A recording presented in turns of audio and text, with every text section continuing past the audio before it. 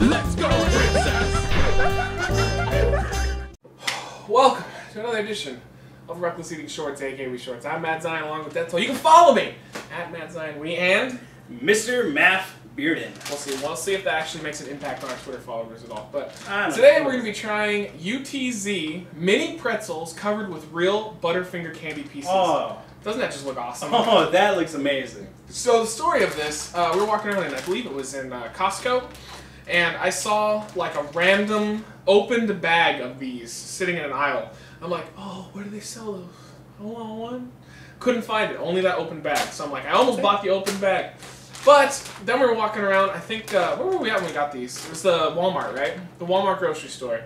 And I finally saw them. So I'm super happy. It was months later, and I finally tried delicious pretzel covered in Butterfinger pieces.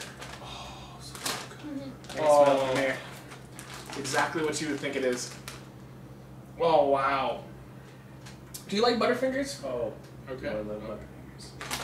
It's the most passionate description of Butterfinger love I've ever heard. Alright.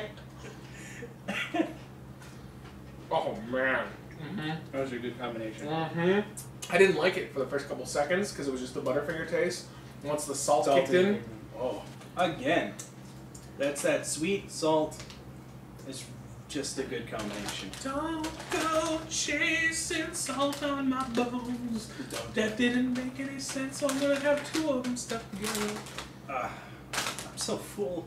I'm so full. I can't have another one.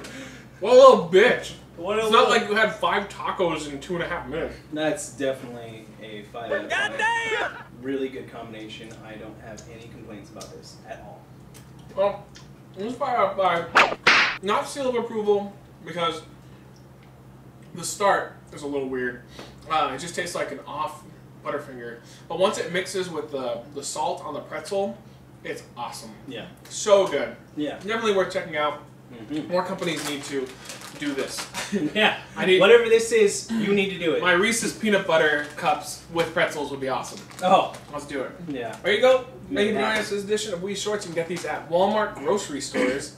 And make sure to follow both of us on Twitter. In the description down below is the link. And we'll see you tomorrow.